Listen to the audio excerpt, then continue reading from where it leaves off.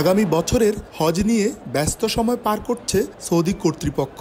নেওয়া হচ্ছে একের পর এক পরিকল্পনা। করোনাকালীন সকল বিধিনিষেধ স্থায়ীভাবে তুলে দিয়েছে দেশটি। কোনো নিষেধাজ্ঞা না থাকায় হাজিরা এবার নির্বিঘ্নেই হজ করতে পারবেন। নতুন করে মক্কায় হাজিদের বাসস্থান সংকট দূর করতে পাঁচ হাজারের অধিক সুউচ্চ ভবনের লাইসেন্স দেওয়ার সিদ্ধান্ত নিয়েছে দেশটি। দু হাজার চব্বিশ সালের হাজিদের জন্য এরই মধ্যে একশো ছেষট্টিটি সুউচ্চ ভবনের লাইসেন্স দেওয়া হয়েছে। ছাব্বিশ হাজার সাতশো দশটি কক্ষ সমৃদ্ধ এ ভবনগুলোতে এগারো লাখ ষোলো হাজার ছয়শো সাতানব্বই জন হাজিদের থাকার ব্যবস্থা রয়েছে।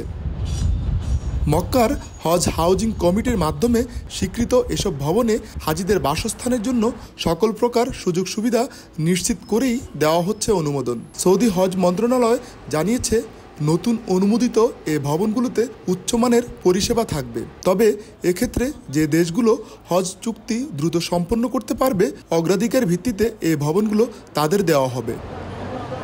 আগামী বছরের জুন মাসে অনুষ্ঠিত হবে পবিত্র হজ।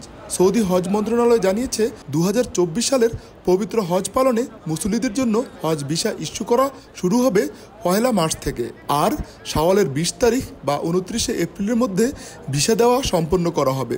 সৌদি আরবে হজযাত্রীদের আগমন শুরু হবে মে মাসের নয় তারিখ থেকে। বিগত বছরের ধারাবাহিকতায় কোটা অনুযায়ী দু হাজার চব্বিশ সালেও বাংলাদেশ থেকে প্রায় এক লাখ সাতাশ হাজার মুসল্লির হজ পালনের কথা রয়েছে। আরিফুর রহমান, সময় সংবাদ, সৌদি আরব।